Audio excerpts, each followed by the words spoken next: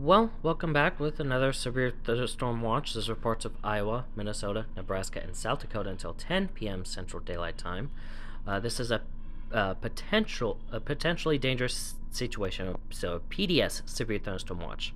This is a big one. A Couple tornadoes possible, two-inch hail likely, and 105 mile an hour winds expected. We're looking at a derecho here. This is a Category 2 hurricane equivalent derecho that we're looking at.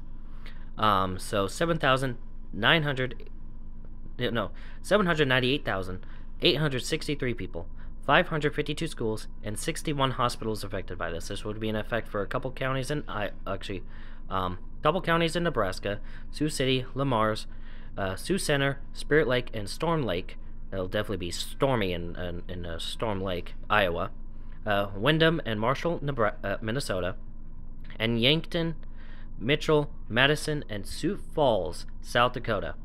Now, with the tornado threat and the Category 2 hurricane force winds expected, uh, this means take uh, be ready to take shelter at, mo- at, a moment's notice. And for those of you in mobile homes, you will need to evacuate uh, for more for a more uh, uh, sturdy shelter, and avoid overpasses at all costs. This is a this is a big one.